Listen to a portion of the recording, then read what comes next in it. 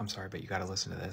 So you may not know what you're looking at, but you're looking at a historical marker marking the place where Emmett Till's body was found after his brutal murder. Since the Emmett Till Memorial Commission placed this marker in 2007, it has either been ripped from the ground, vandalized, or as you can see.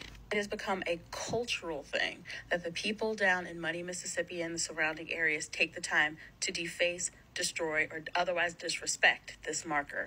First, if you're following me and not Whitney, I will tag her. You should follow her. I learn a lot from her channel. I would think that it goes without saying, but apparently it does not. To deface the marker of a place where a child's body was found after he was brutally murdered is grotesque and uncivilized.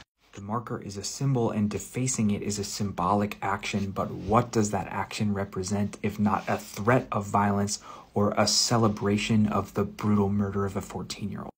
There was a minute after the election of Barack Obama that we collectively could deceived ourselves into believing that we lived in a post racial society.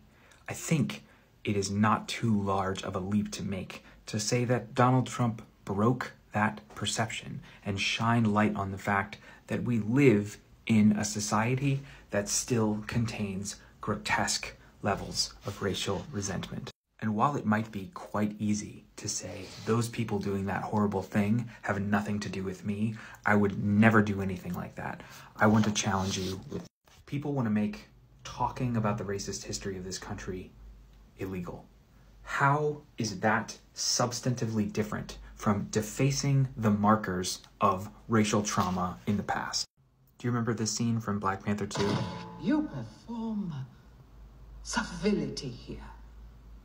But we know what you whisper in your halls of leadership and in your military facilities.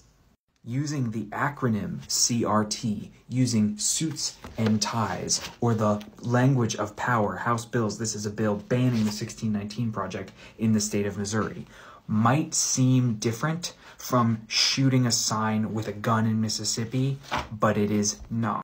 It is nothing more than a performance of civility in the halls of power with a grotesque and, yes, deadly effect.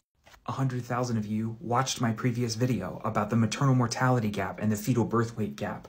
Lives are on the line. If it is illegal to talk about it, how are you better than the people shooting a sign in Mississippi?